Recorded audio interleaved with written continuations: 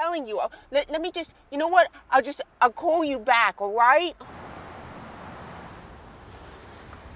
Ma'am? Ma, I'll call you back. I'll call you back. I need brakes. I need them cheap, so you're gonna have to cut your labor costs.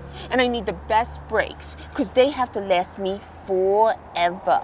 Forever. Are you sure you even need brakes? Yeah. Like my own mechanic told me I need them real soon. And then my best girl, like she was driving and she heard the wheels squeaking. And she knows because her brother has a neighbor whose cousin's brother worked as a cashier in a Yugo dealership in the 80s. So yeah, I need brakes. So mm, how much are they gonna cost me? I don't know. Could need nothing. Could need brakes, rotors. I need to check it out. Are you trying to rip me off?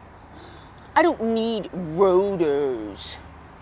Fine, I'll buy the brakes. You put them on. It'll cost you nothing. It'll cost you nothing. I can't do that.